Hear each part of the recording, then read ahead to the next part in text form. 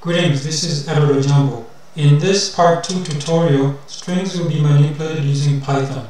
This is from chapter 2 of the ojamboshop.com learning Python course. Strings can be surrounded by single double quotes. String quotes are literal, double quotes allow escape characters. Python can be compiled from source at GitHub. Python can be installed from download binaries. I installed version 3.12.4 from the Fedora 40 repos. Let's begin. So I'm using Geany. What I'll do is I'll go and save this file.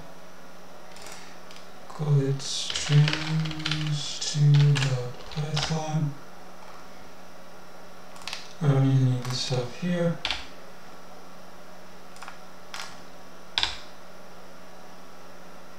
Okay, so first I'm gonna need, I'll zoom in here.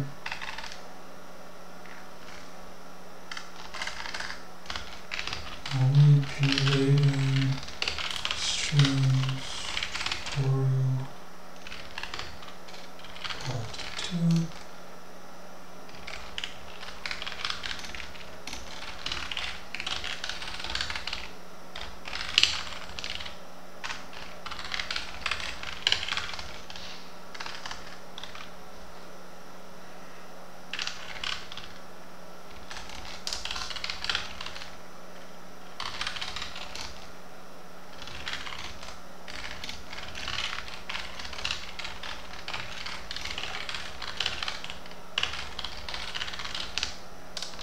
Python.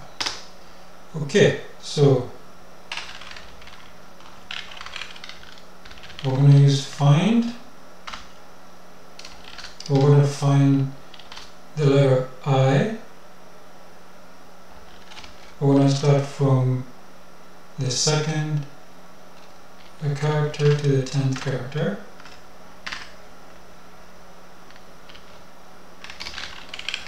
String search for specify uh, value and optional position. Okay, next.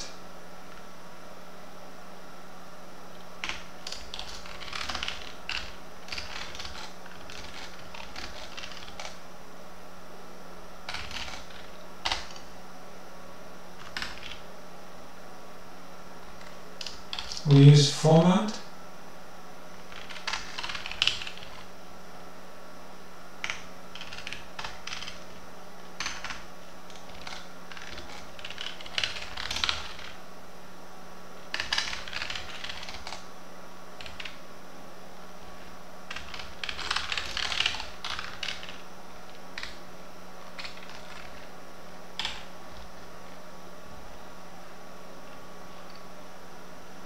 So we're going to create a variable called person.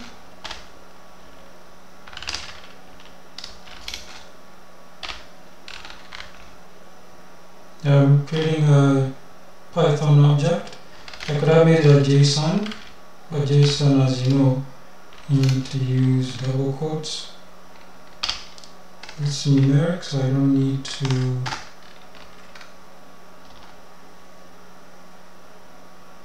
quote it.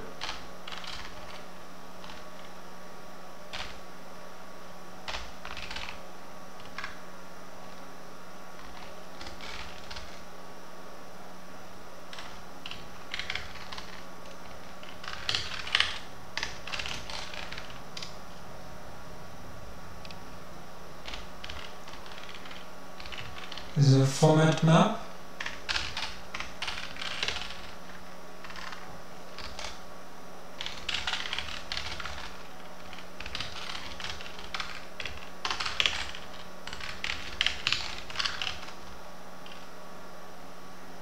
Next we'll use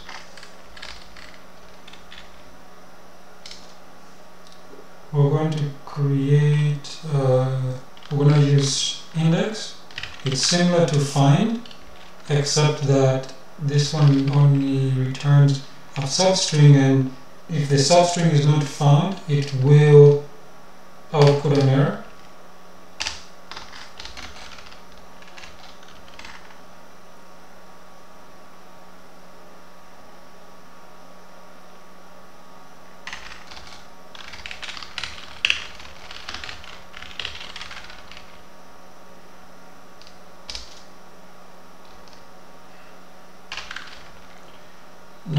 going to use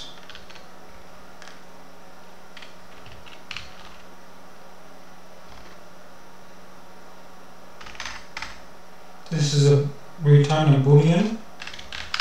So return if alpha numeric. I'm going to duplicate this and change this from this to alpha alphabetic meaning only alpha characters. Duplicate this again. And we'll change this to ASCII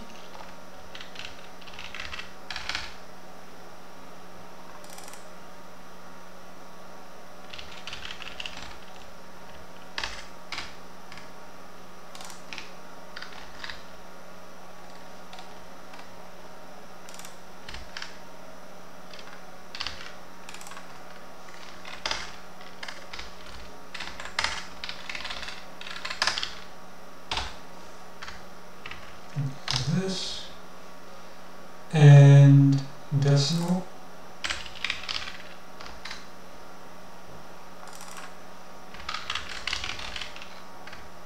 duplicate this and these digits.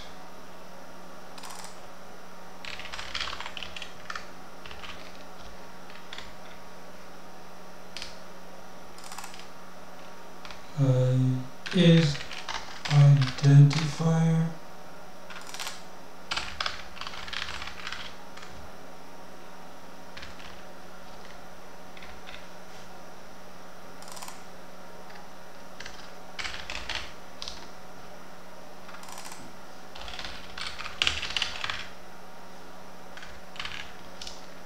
Get that is numeric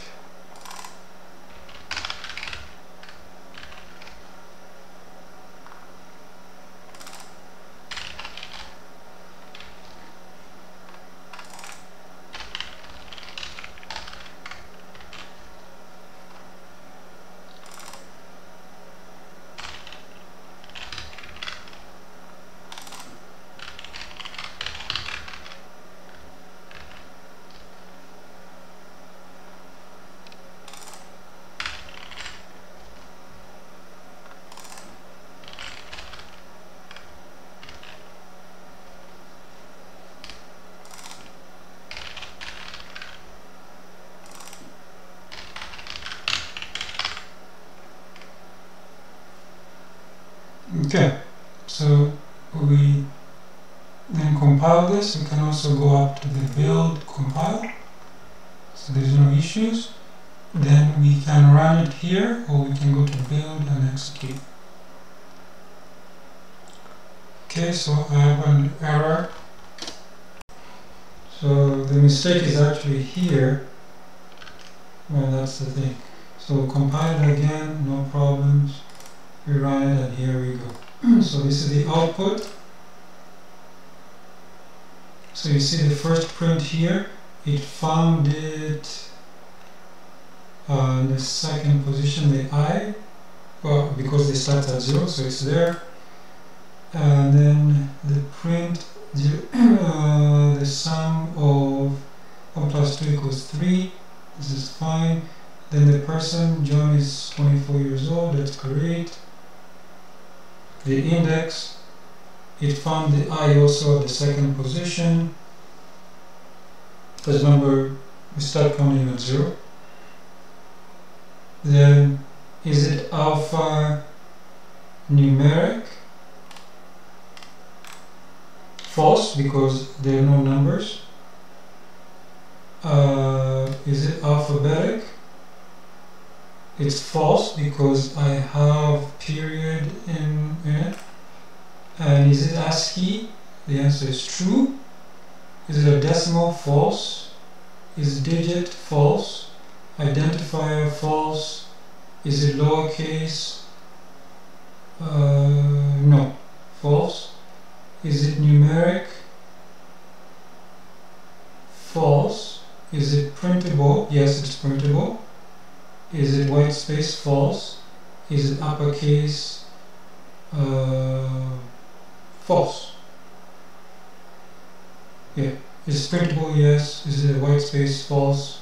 Title false. Uppercase false.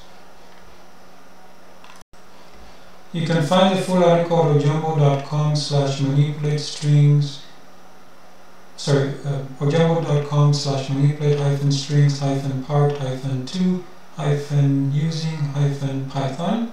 This is part 2 of the tutorial. You can see all the uh, methods, Python methods used to manipulate the strings. You can click here to expand the source. So you can see here if you just want to copy paste some screenshot of Geany and here again when I compile and then when I run it I use the terminal and here this is the video you can find this video obviously on the article and other platforms YouTube, Rumble, Odysee, X, LinkedIn, Facebook, etc. And also on TikTok as well, uh, all the others. And of course, if you want to learn Python yourself, uh, you can visit ojamboshop.com slash learning hyphen Python. And if you want one-on-one -on -one tutorials, be sure to check out ojamboservices.com. This is if you need a, a website that's custom made, if you need an application, whether it's desktop, mobile, or web, we can do that as well, the database or not. And if you want to learn how to program, uh, if you just want just simple tutorials, again, you can contact the tutorials sessions are custom made for individuals. You can call is uh, North America, or if you want to do a direct tell, we take anybody from around the world.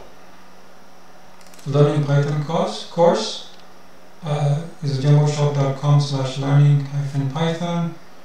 Remember, till the end of 2024, you can use the promo code SCHOOL to get up to you get, sorry, not up to, you get 20% off.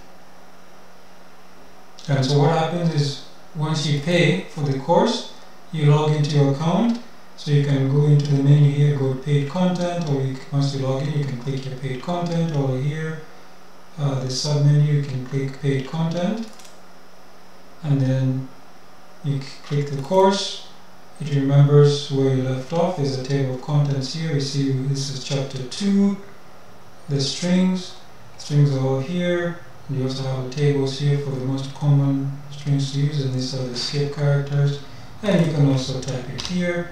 So for example, I can say string 1 equals hello there. And then you can print string 1 and you click compile and then you see the print your output here and you can also clear and type in uh, the next card. So this works in the web browser.